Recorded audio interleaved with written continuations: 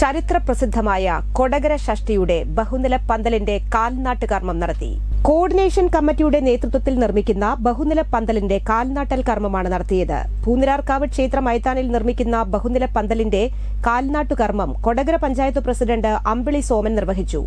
Coordination committee chairman I K Krishnan അധ്യക്ഷത വഹിച്ചു. Convener N B Biju പൂനരാർക്കാവ് ക്ഷേത്ര ഭരണസമിതി പ്രസിഡന്റ് ഡി നിർമ്മൽ കോർഡിനേഷൻ കമ്മിറ്റിയുടെ supplement committee chairman T A Rajan Babu joint convener T G Ajo treasurer Dinesh Parameswaran panchayat അംഗങ്ങളായ Swapna Sathyan C D Sibi Pranila Gireesan എന്നിവർ പ്രസംഗിച്ചു. വിവിധ set ഭാരവാഹികളും ഭക്തജനങ്ങളും പരിപാടിയിൽ പങ്കെടുത്തു. നവംബർ പതിനെട്ടിനാണ് പ്രസിദ്ധമായ കൊടകര ഷഷ്ടി. ചേരേണ്ട യോഗങ്ങൾ എം എൽ എയുടെ നേതൃത്വത്തിലൂടെ ചേർന്ന് കഴിഞ്ഞു. വിവിധ ഡിപ്പാർട്ട്മെന്റുകളെ ഏകോപിപ്പിച്ചുകൊണ്ട് എല്ലാ പ്രവർത്തനങ്ങളും നമ്മൾ ത്വരിതപ്പെടുത്തിക്കൊണ്ടിരിക്കുകയാണ് പഞ്ചായത്തിന്റെ നേതൃത്വത്തിലും ഇന്നലെ ശക്തിയുമായി ബന്ധപ്പെട്ട് പോലീസ് അടക്കമുള്ള എല്ലാ സ്ഥാപന മേധാവികളെയും വിളിച്ചുകൊണ്ട് ആവശ്യമായ നിർദ്ദേശങ്ങൾ നൽകിയിട്ടുണ്ട്. ഈ വരുന്ന ശക്തി ഏറ്റവും സമാധാനം നിറഞ്ഞതും വരുന്ന എല്ലാവർക്കും സമാധാനപരമായ അന്തരീക്ഷത്തിൽ ശക്തിയുടെ ആഘോഷങ്ങളെല്ലാം തന്നെ ആസ്വദിക്കാൻ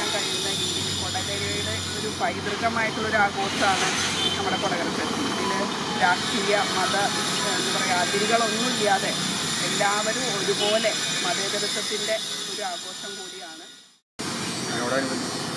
കോർഡിനേഷൻ കമ്മിറ്റി അമ്പല കമ്മിറ്റി അങ്ങനെ പൊതുവെ എല്ലാ നാട്ടുകാരും സാധനത്തോടെ കോർഡിനേഷൻ കമ്മിറ്റിയുടെ നേതൃത്വത്തിൽ ഒരു പന്തൽ കഴിഞ്ഞ വർഷം നമ്മൾ തുടങ്ങി അത് മുന്നോട്ട് പോകണമെന്ന് നമ്മൾ ആഗ്രഹം അതിന്റെ ഭാഗമായി ഇത്തവണയും നമ്മൾ സംവിധാനങ്ങൾ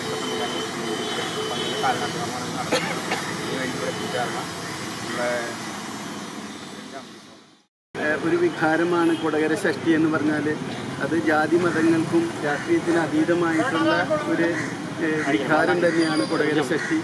ഈ കൊടകര ഷഷ്ടി വളരെ മനോഹരമാക്കുന്നതിനും സമുചിതമായി ആഘോഷിക്കുന്നതിനും വേണ്ടി രൂപീകൃതമായ കൊടകര കോർഡിനേഷൻ കമ്മിറ്റി വിവിധ പ്രവർത്തനങ്ങൾ